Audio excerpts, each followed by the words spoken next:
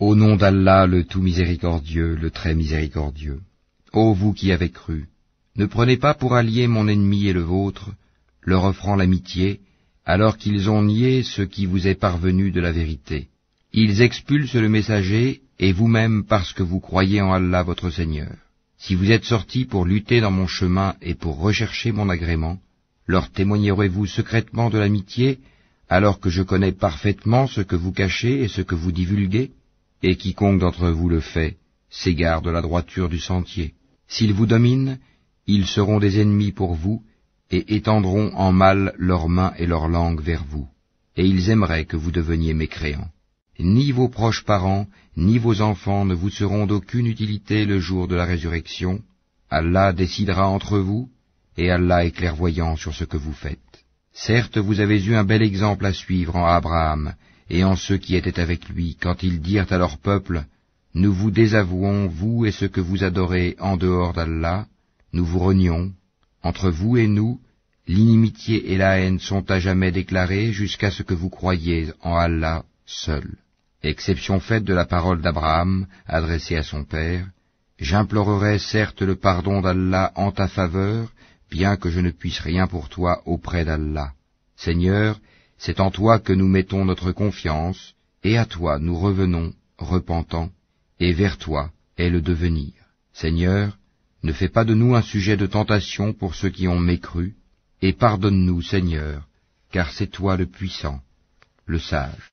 Vous avez certes eu en eux un bel exemple à suivre pour celui qui espère en Allah et en le jour dernier.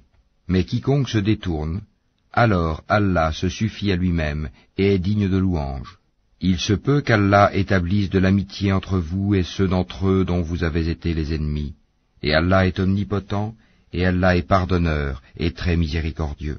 Allah ne vous défend pas d'être bienfaisant et équitable envers ceux qui ne vous ont pas combattu pour la religion et ne vous ont pas chassé de vos demeures, car Allah aime les équitables.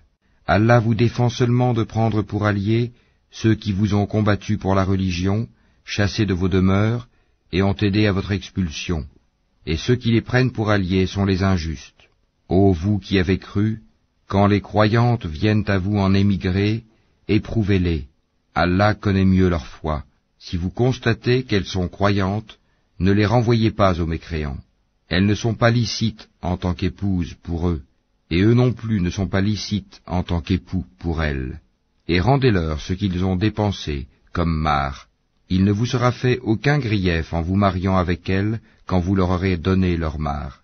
Et ne gardez pas de liens conjugaux avec les mécréantes. Réclamez ce que vous avez dépensé et que les mécréants aussi réclament ce qu'ils ont dépensé. Tel est le jugement d'Allah, par lequel il juge entre vous, et Allah est omniscient et sage. Et si quelqu'une de vos épouses s'échappe vers les mécréants et que vous fassiez des représailles, restituez à ceux dont les épouses sont parties autant que ce qu'ils avaient dépensé. Craignez Allah en qui vous croyez. Ô prophète, quand les croyantes viennent te prêter serment d'allégeance et en jurent qu'elles n'associeront rien à Allah, qu'elles ne voleront pas, qu'elles ne se livreront pas à l'adultère, qu'elles ne tueront pas leurs propres enfants, qu'elles ne commettront aucune infamie ni avec leurs mains ni avec leurs pieds, et qu'elles ne désobéiront pas en ce qui est convenable, alors reçois leur serment d'allégeance et implore d'Allah le pardon pour elles. Allah est certes pardonneur et très miséricordieux. Ô vous qui avez cru, ne prenez pas pour alliés des gens contre lesquels Allah est courroucé et qui désespèrent de l'au-delà, tout comme les mécréants désespèrent des gens